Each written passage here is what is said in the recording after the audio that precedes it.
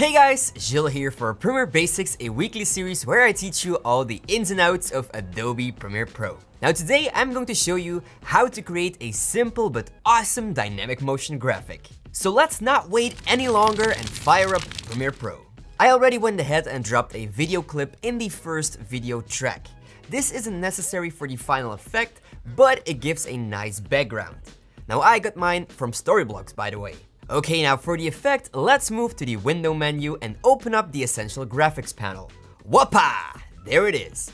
And let's make a new text layer first. Start by typing your first word, I'm going for stay. Then I'm going to add a new shape layer, which is going to be a rectangle. It doesn't matter which color it is, just make sure to place it above your text layer and make sure that it's quite wide and about the same height as your text layer. Then select mask with shape. This will now function as a mask, so as long as our text is in this rectangle field, it will be visible. Okay, now it's time to get creative and create our dynamic effect. I'm going to the effects panel and look for the transform effect.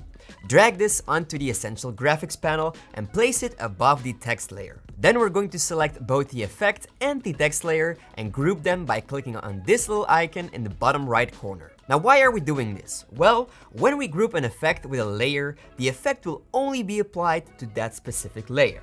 Now go to the effect controls panel and let's make a simple animation. First I'm going to uncheck the checkbox for the composition shutter angle and set a custom one of 180. This will give us motion blur in our animation. Then I'm going to the beginning of the clip and change the position value so my text is located on the right side of the rectangle and underneath it. Then I'm going a bit further in time and I'm going to place the text inside the rectangle so it becomes visible. Then, a bit further in time, I'm placing another keyframe, and then I move even further and move the text towards the left side of the rectangle, so that it can make some space for a new text.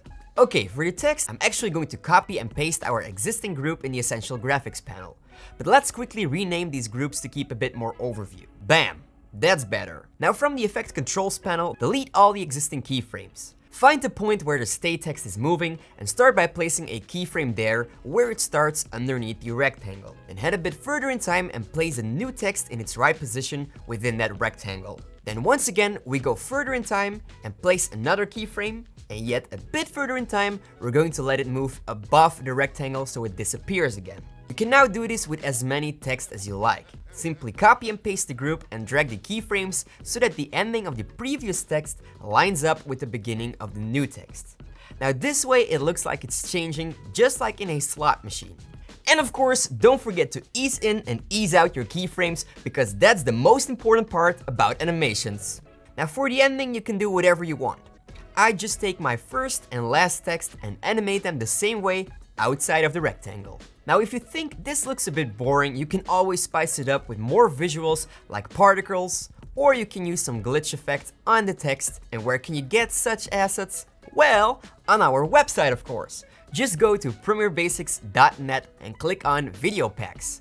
Or if you want to learn even more about video editing or After Effects, you can head over to our classes. So click on the link below and get your video packs right now. I'll see you guys next week for a new tutorial, which is going to be a special one.